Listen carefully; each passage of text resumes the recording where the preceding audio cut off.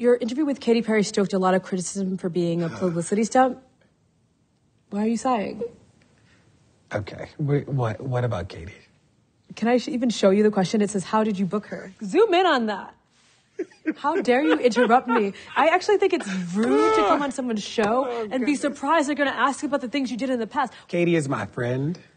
Uh, I'm on the board of Katy's foundation, the Firework Foundation, and we run a summer camp. And Katie and I are both camp counselors at the summer camp. We have one coming up in You September. are camp counselors at the summer camp? Yeah, and Katy's like a legitimate counselor. She's not like a just there. And what do you what do you and Katy Perry do at this camp? We're not the only counselors. What- There's like a whole set of Well, I don't mean it in a creepy way. I mean, what do you and the multiple counselors plus the very famous celebrity Katy Perry do at the camp?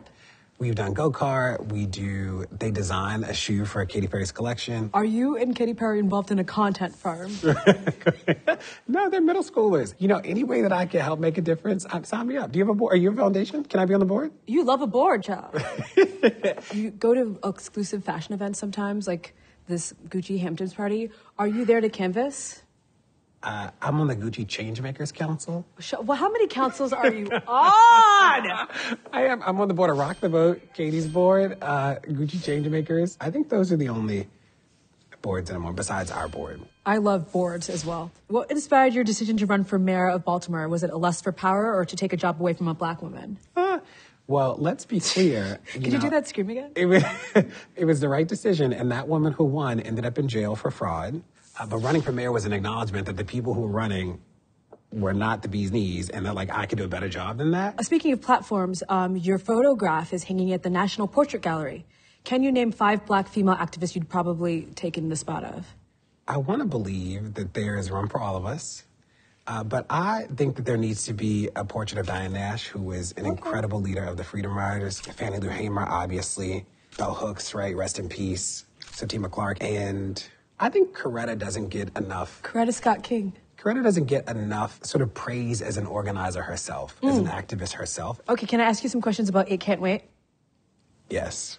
8 can't Wait worked. It was one of the most successful. worked?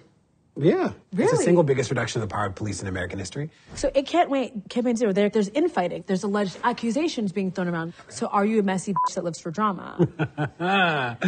Um, no, you know, here's the thing. Some people don't love me or the work that we do or people on our team or our approach, right? Mm. And the goal wasn't to be popular. The goal was to figure out how to do right by black people and community. Mm. And every single day I'm confident that we do that.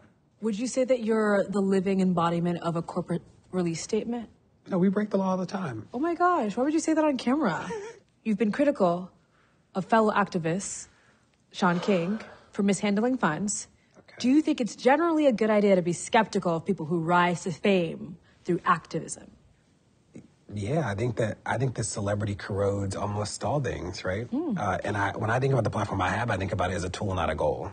Often, being in places allows me to say the thing to the people or get close to the people, so I can ask them about this, or can you do the law, or can you can we have a meeting about this, those sort of things. Uh, but the moment that fame or visibility becomes the goal, I've just seen it ruin people. I've seen it. What?